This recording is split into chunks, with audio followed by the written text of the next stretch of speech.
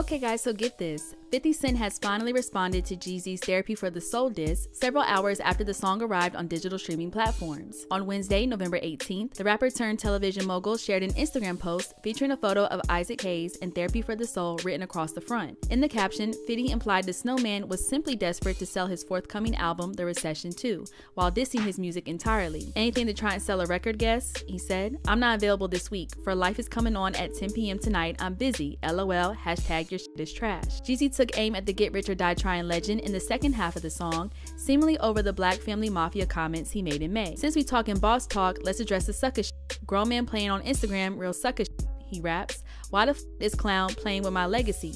Solid in these streets, that's some shit that you will never be. Talking about power, but weak do the most. In real life, you really borrow money from ghosts. All that little boy shit, yeah, make it evident. Made millions in these streets. What the f is 50 Cent? But 50 wasn't the only rapper Jeezy insulted. His former CTE World artist Freddie Gibbs got it too. If 1-5 wasn't my dog, I would have touched him, he spit. When that went down with Gibbs, I couldn't trust him. Invested my hard earned money, tied up my bread, but he gonna try to tell you I'm flawed. That's in his head.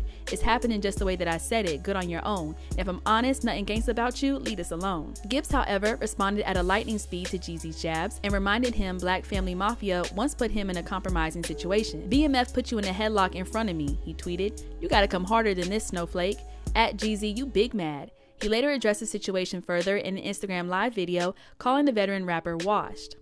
They got it, or, or not necessarily lost it, because it's something to pull off a part two, but most of the time, they can't pull off a part two. Be doing part two, that mean they trying to recapture some shit that they ain't got no more. I love you, dog. I love your previous. You just ain't got it. Like on that level, you need a writer. You need to get me back in there. I could write some shit for you. Them bars you had for me was. Damn. I wonder what 50 gonna say about you. Crazy. Damn. You about to be in the room playing songs with a that smoked your homie. You rap? You still rapping? Go get the strap. What the? F-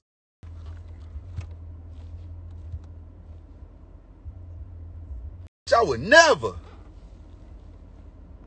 You rapping. You versing, throwing verses.